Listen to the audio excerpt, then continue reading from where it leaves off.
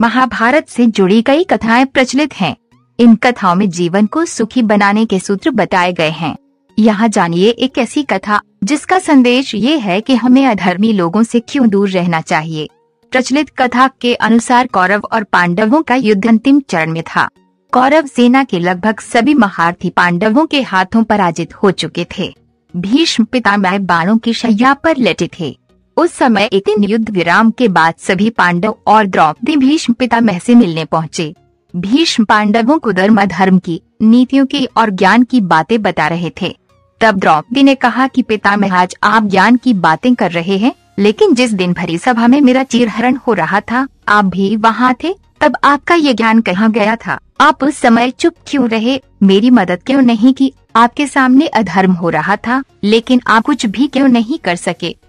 भीष्म पिता मैंने कहा कि, पुत्री, मैं जानता था, एक दिन मुझे इन सवालों के जवाब ज़रूर देना पड़ेंगे।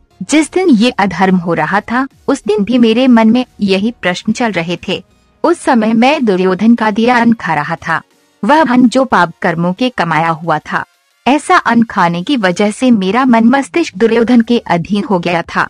मैं ये सब रोकना चाहता था, लेकिन दुर्योधन के अन्न ने मुझे रोक दिया और ये अनर्थ हो गया। द्रौपदी ने कहा कि आज आप ज्ञान की बातें कैसे कर रहे हैं? भीष्म ने जवाब दिया कि अर्जुन के बाणों से मेरे शरीर से सारा रक्त बह गया। ये रक्त भी दुर्योधन के दिए अन्न से ही बना था। अब मेरे शरीर में रक्त नहीं है। मैं दुर्योधन के अन्न के प्रभाव से मुक्त हो गया हूँ। इसलिए आज ज्ञान की ये बातें कर पा रहा हूँ।